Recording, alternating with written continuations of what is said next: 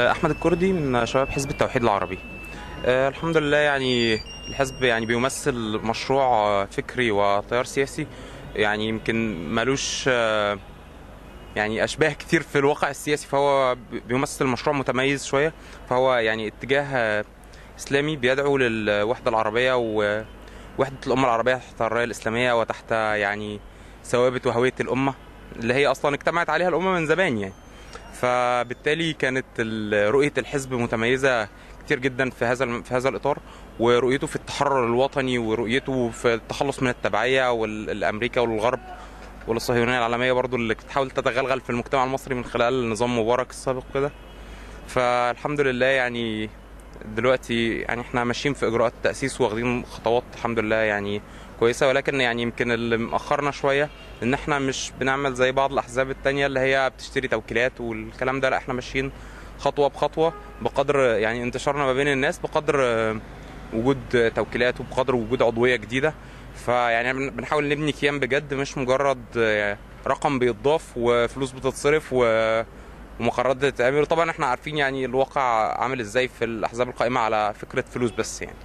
فالحمد لله ال- ال- الحزب يعني بيضم برضه عدد من ال- القيادات الفكرية المتميزة جدا. يعني امثال الأستاذ محمد السخاوي والدكتور محمد مورو والمهندس عمر عزام وكثير يعني والسفير محمد والي ناس يعني شخصيات عامة وأفاضل ممن يحملون هذا الخط اللي هي ال- الوحدوي العروبي الإسلامي يعني. ف الحمد لله يعني واخدين خطوات كويسة في هذا الاتجاه وال والحزب يعني على على في مسار التأسيس يعني حتى الآن. و يعني لنا تواجد في عدد من المحافظات.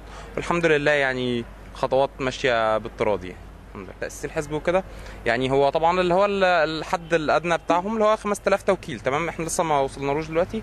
ولكن يعني في النهاية إحنا يعني مش مستعجلين على الموضوع ده. لأن هو اللي كان مستعجل شوية عشان يقول لك نلحق الانتخابات أو كده. لا, لا إحنا في النهاية دلوقتي كنا مشاركين في التحالف الديمقراطي آه، للتنسيق بخصوص الانتخابات. وبعدين نظرا لبعض الإشكاليات في التحالف الديمقراطي آه، انسحبنا منه. وبعد كده يعني كتلة التحالف الإسلامي بتاع حزب النور آه، عرضوا علينا الانضمام معاهم وكده. ولكن برضو لبعض الإجراءات الإدارية وكده فإيه ففضلنا إن إحنا ننسحب أصلا من موضوع الانتخابات.